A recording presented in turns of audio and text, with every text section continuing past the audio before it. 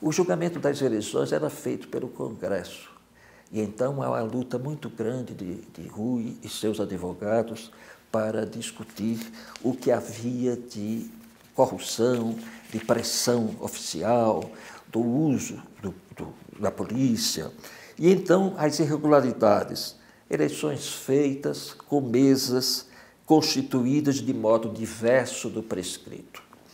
Votações com mais eleitores do que o número dos alistados.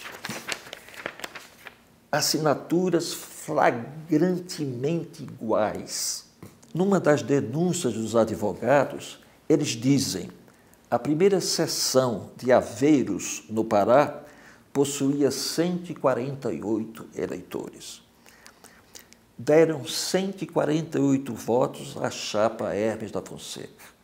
Em contraste com esse furor intelectual, nas raríssimas acessões onde algum fiscal do candidato civil conseguiu ser admitido, a deserção foi completa. Quer dizer, quando o fiscal fosse admitido para fiscalizar, a eleição era séria. E reduzia-se o número, enormemente reduzia-se o nome. Quando era falsa, a pessoa assinava o nome de todos os eleitores, como se eles tivessem comparecido, como se eles tivessem votado.